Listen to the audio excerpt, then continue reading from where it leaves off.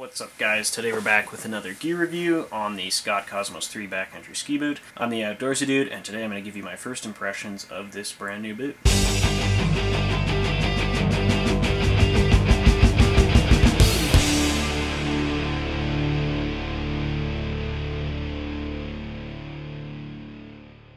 Okay, so two things before we start the video. Number one, I'm not just trying to look outdoorsy, it is very cold in the basement. Uh, number two, this is just a first impressions review. So I've only skied in these boots once, so I'm going to keep this review relatively short.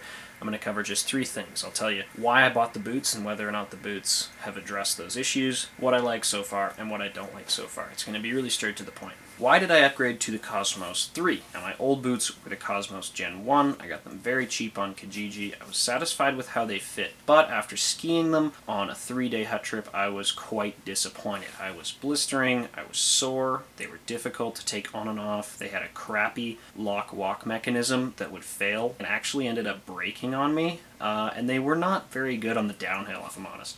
So I was looking for something that would solve all of these problems. Now at the time I was not loyal to Scott. Um, I went into the store totally open-minded. I tried on a ton of boots, but unfortunately I have really fat feet, and that means I am kind of stuck to Scott. So far, they've pretty much fixed every issue that the Cosmos 1 had. First of all is that lock-walk mechanism is now a very durable looking metal spring-loaded rod that just flicks down and catches a bar and locks the back of the boot in much nicer than on the Gen 1 and Gen 2. It's a lot stiffer, certainly skis a lot better than the Cosmos 1 did, and I think that's also in part due to the fact that the boot is actually significantly taller, uh, so that would certainly give you a little bit more um, control of the boot and ski there.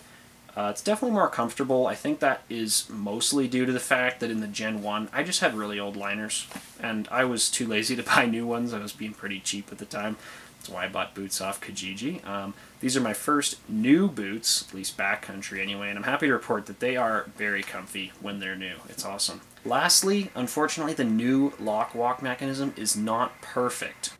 Okay, so the problem goes like this. When you're touring and breaking trail specifically, you'll get lots of snow build up in there.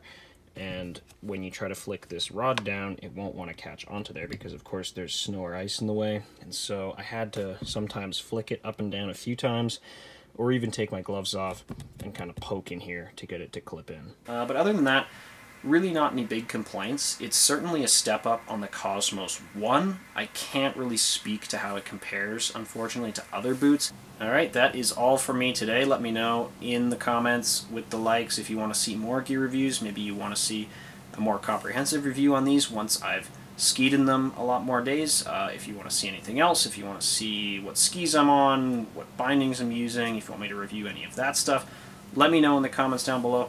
I'll be sure to get to that. And that is all. Thank you again for watching. Subscribe, like, share, all that jazz, all the stuff YouTubers ask you to do. And uh, I'll see you in the next one.